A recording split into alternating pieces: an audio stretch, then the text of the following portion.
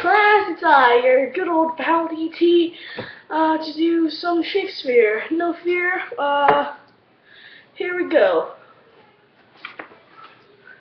Ha! I'm Touchstone! We'll get married as, at some point, Audrey. Be patient. I'm Audrey. Really, the priest was good enough, no matter what that old guy said. No, he was wicked and vile. But Audrey, there's a boy in the forest who claims you're his girl. Yes, I know you're talking about, but he has no claim on me. Ah, William enters. Here comes the man himself. Warms my heart to encounter such a country pumpkin. Truly, we witty men can't hold our tongues. We have to mess with the likes of him. Just, we just can't help it. I'm William. Good evening, Audrey. Good evening, William. And good evening to you, sir. Good evening to you, good friend. No, no, put your hat back on. Put it back on. No, please. Keep your head covered. How are you, old friend?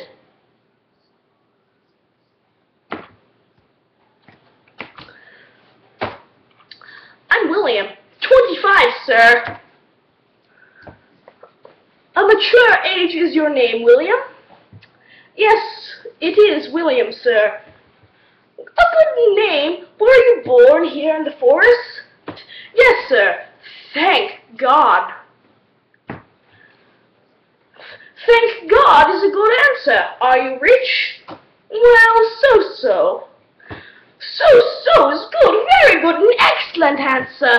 And then again, it is not so good, but only so-so. Are you wise? Yes, sir, I am fairly wise.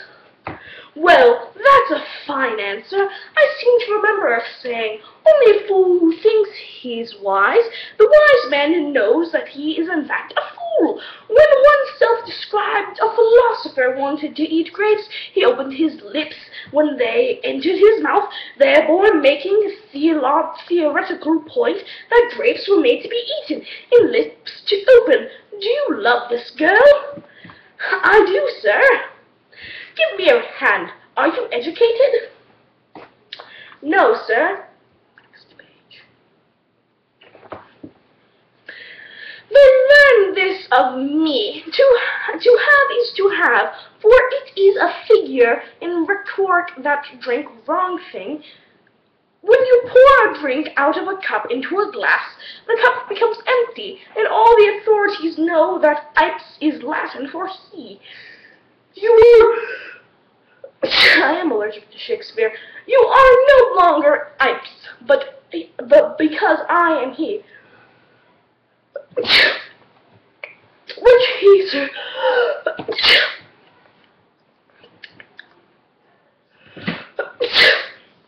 Why, the he that will marry this woman, and therefore, idiot, abandoned, or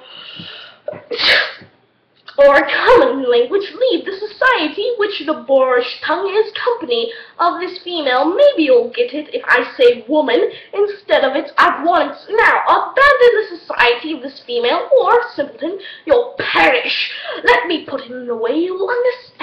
You will die, or rather, I will kill you or I'll do away with you, or turn your life into death, and your freedom into captivity, or I'll poison you, or beat you with a club, or stab you with the sword. I'll bandy you about, overwhelm you with my cleverness.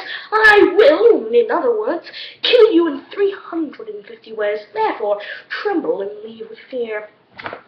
I'm Audrey. Do what he says, William. Farewell, sir. He exits, and Corin enters. I'm Corin. Our master and mistresses are looking for you. Let's go. Hurry up, Audrey. I'm coming, I'm coming. They all exit. Okay, cool, cool. Um, sure. Um, I'm Orlando. Is, isn't it possible that on so little acquaintance you should... Is it really possible that you could like that girl right after meeting her and fall in love with her immediately, merely after seeing her? And soon as you fall in love with her, woo her, and as soon as you woo her, you give her accept, and do you really mean to marry her? I'm Orlando. Okay. I'm Oliver now. I'm Oliver. Don't question the foolish haste of it all, or poverty, or or our short time together, or the abruptness of my countership, or the abruptness of her consent. But say with me, I love Aliena, and say with me that she loves me. Agree to this match so we can enjoy each other. It will be your advantage, because I'll leave our father's house and all his property to you. Well, I'll live and die a shepherd of the forest. You have my consent. You can be married tomorrow if you want. I'll invite the Duke and all of his followers. Go get Aliena ready, because, look, here comes my Rosalind. It's just Rosalind.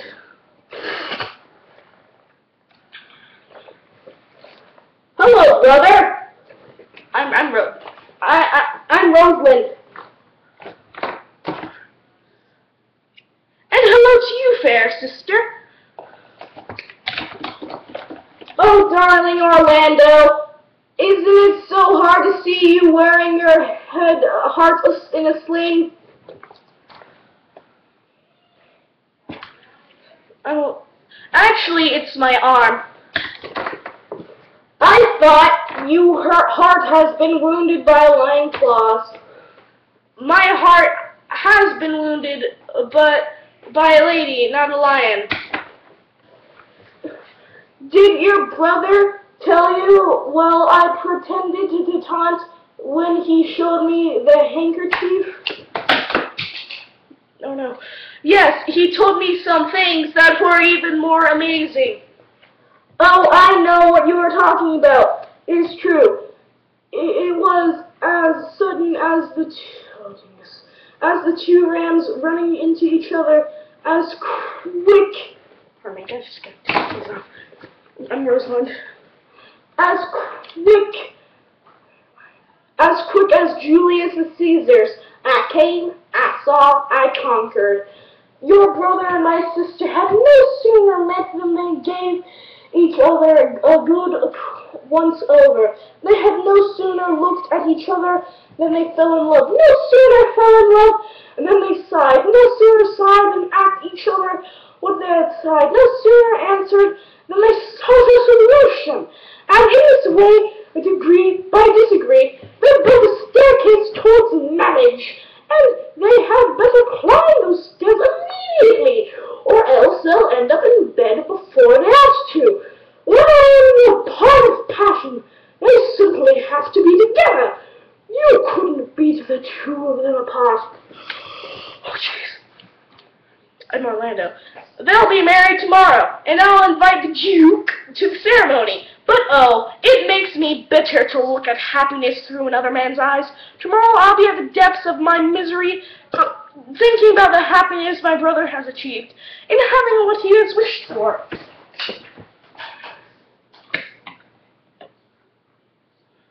Well then, well then, I, I can act, well then, I can act as Rosalind for you tomorrow. I can't live by pretending anymore.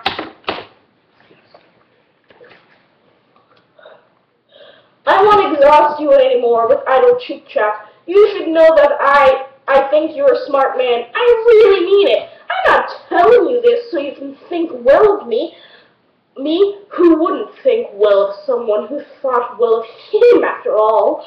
I'm, and I'm not trying to enhance my own reputation but only to do you good. Believe me, then, that I have special powers.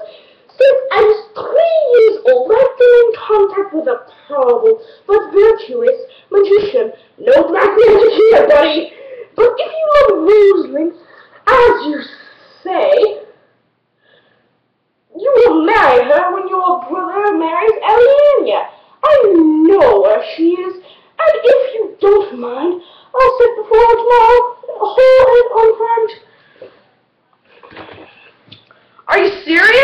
Orlando. I swear on my life, which I take pretty seriously, even if, even if I am a magician. So put on your best, so put, so put on your best clothes and tell your friends to come. Because if you want to be married tomorrow, you have to be married to Rosalind. You will. Sylvia and Phoebe enter.